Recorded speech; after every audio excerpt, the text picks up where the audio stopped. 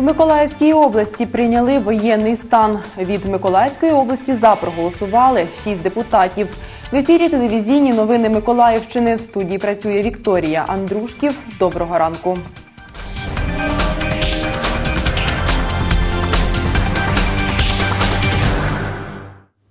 Вчора на засіданні Верховної Ради відбулося голосування про проект закону про затвердження указу президента України про введення воєнного стану в Україні, зокрема і на території Миколаївської області. Перша позиція. Я вніс новий проєкт указу, в якому термін дії воєнного стану буде скорочений до 30 діб. Ми на сьогоднішній день зробили цей указ, зареєстрований в Верховній Раді, офіційно, офіційно внесений на заміну. І зараз, при оголошенні постановки на голосування головою Верховної Ради, ви будете голосувати саме за нього. Друга позиція.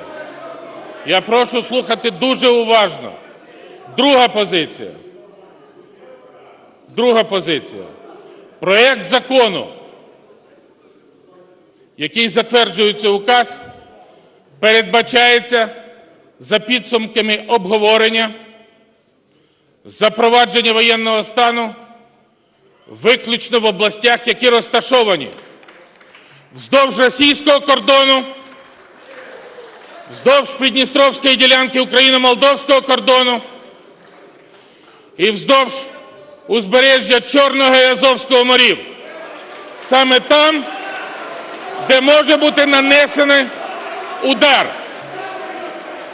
Для стенограми я хочу зачитати перелік цих областей, кваліфікаційні вимоги до яких чітко наголошені. Це є Вінницька, Луганська, Миколаївська, Одеська, Сумська, Харківська, а також Чернігівська, Херсонська і внутрішні води Азово-Керченської акваторії.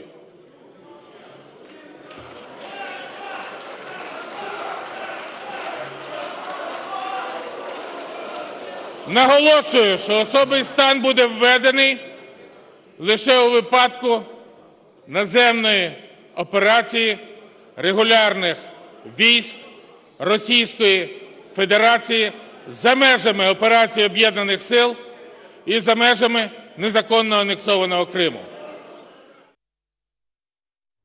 Відповідно до указу президента, воєнний стан вводиться з 9 години ранку 28 листопада. Він триватиме 30 днів, тобто до 27 грудня. Відповідне ріш...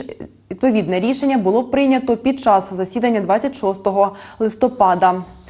За введення воєнного стану в окремих областях України проголосували 276 депутатів. Проти 30 утрималися. Один не голосували 23. Всього 330 депутатів.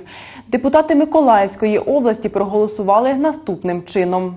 Андрій Вадатурський не голосував. Олександр Жолобецький відсутній. Аркадій Корнацький за. Тарас Кремінь за. Артем Ільюк не голосував. Олександр Лівік за.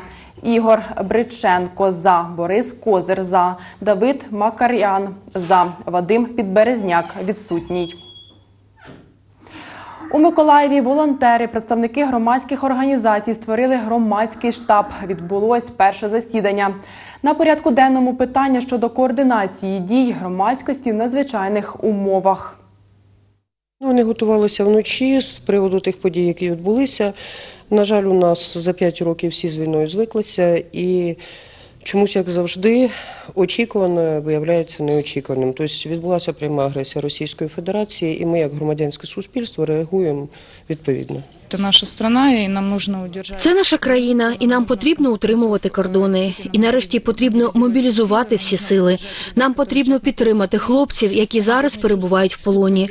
Вони повинні відчувати всю підтримку України. Що ми з ними, що ми поряд. Учасники засідання обмінювались координатами. Дані записували на аркуш, який пустили залом. Вирішували, хто за який напрямок відповідатиме і як краще розставляти пріоритети.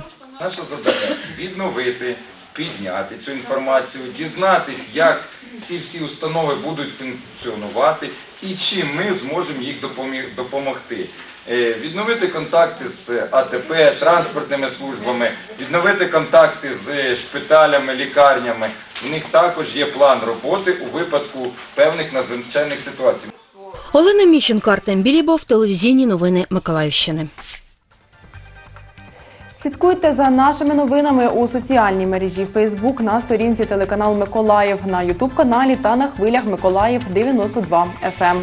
Зараз передаю слово студії нового дня та своїй колезі Тетяні Макушевій. Я з вами прощаюся. Ми з вами зустрінемось у цій студії о 13.30.